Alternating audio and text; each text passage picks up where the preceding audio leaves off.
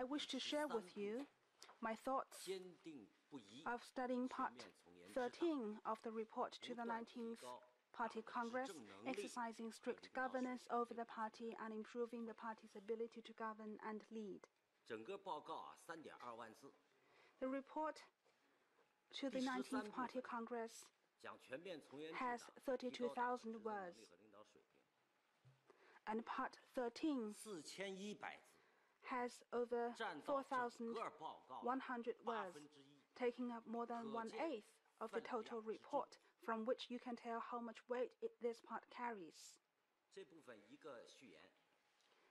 This part has a preface and lays out eight tasks, each of which represents a solemn commitment made by our party to the people on exercising strict self-governance of the party. 在昨天刚刚闭幕的一中全会上，习近平总书记 On the just concluded first plenum of the 19th 全面 Party 从严治党， Congress, 永远在路 General Secretary Xi 绝 Jinping 不能 stressed 有 once again 任 that 何 exercising 歇歇脚 strict 的念 self governance is a never 我们要 ending 继 journey. 续地 We must 革 have 除 no 一 let up 切 in 侵害 doing so, 党 and we 的 must 机体健 eliminate 康的病毒。 all tumors that damage the health of our party and promote integrity and honesty within our party. This has once again shows that the CPC Central Committee, with Comrade Xi Jinping as the core, has a strong will and firm position to exercise strict self-governance, and they take a strong leadership in doing so. And I would like to share with you my thoughts of studying this part. First, we need to uphold the authority of the CPC Central Committee with Comrade Xi Jinping as the core and its unified leadership, and promote political party building. Over the past five years, under the leadership of the CPC Central Committee, the Central Commission on Discipline Inspection inspected, investigated into two 192 officials administered by Central Organization Department, including Li Chuncheng and Sun Zhengcai. Almost all of them violated political disciplines, and most of them have political problems and behaviors of corruption. Therefore, the report has incorporated political party building into the overall plan of party building. This is highly relevant. So the whole party all party members must maintain political integrity, think in big picture terms, follow the leadership core, and keep in alignment, ensure intra-party political activities are carried out in earnest, to improve the political ecosystem and uphold the authority of the CPC Central Committee.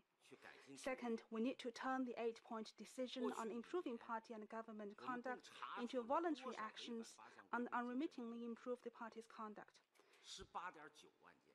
Over the past five years, 189,000 cases of violating the eight-point decision have been investigated, and 256,000 officials held accountable in the just concluded National Day holiday of China. The CCDI released 160 cases of eight-point decision violation on its website. General Secretary Xi Jinping has always emphasized that we need to have the perseverance to hammer away at every task, never allow violations of such eight-point decision relapse, so as to build the popular and political foundation for the governance of the party.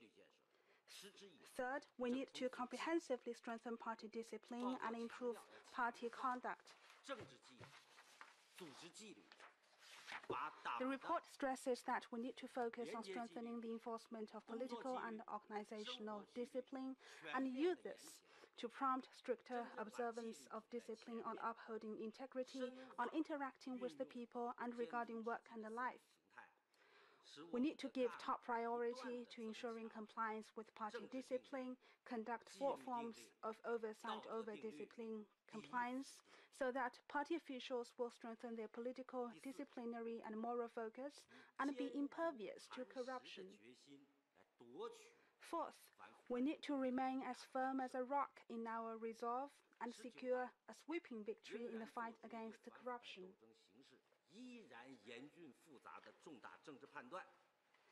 According to the report of the 19th Party Congress, the fight against corruption remains grave and complex and in fighting corruption, there should be no no-go zones, no ground should be left unturned, and no tolerance shown for corruption.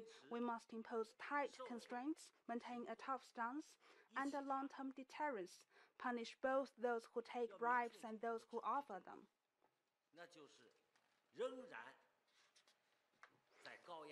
For those senior officials who are in important positions and may still be promoted if they do not show any restraint, even when the people have made strong opinions against them, then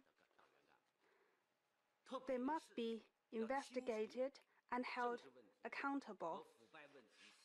In particular, we must eliminate interest groups with intertwined political problems and corruption to strengthen deterrence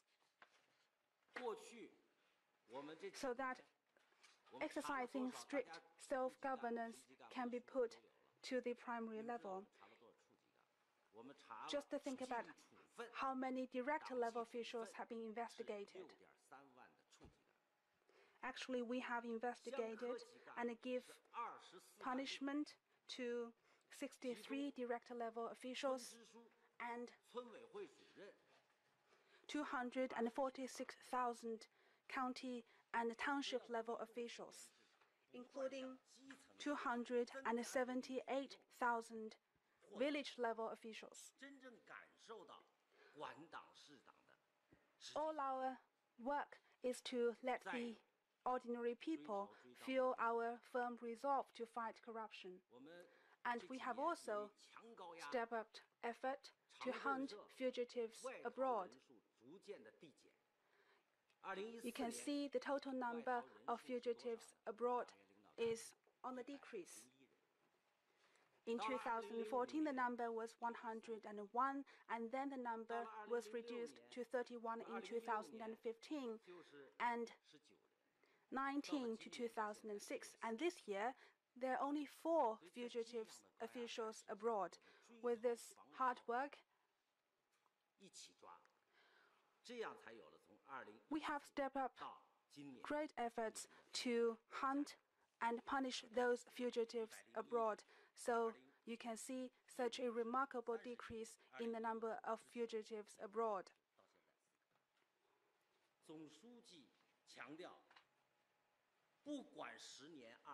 General Secretary Xi has emphasized as long as there's one fugitive abroad, our campaign, our efforts will never stop.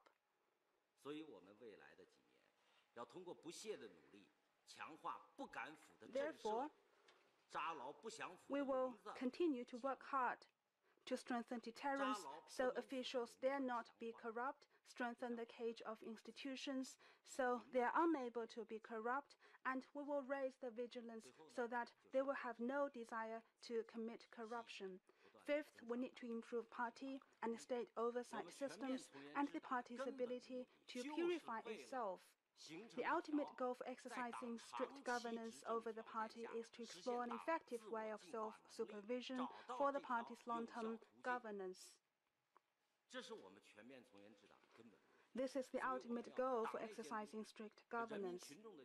So we must integrate intra-party oversight with public oversight make disciplinary inspections cut like a blade through corruption and misconduct, and do more inspections in cities and counties.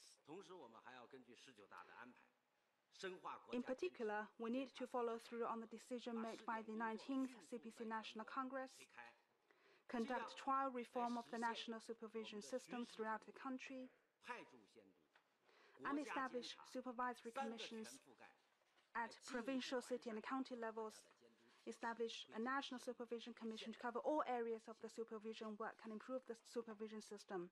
Thank you.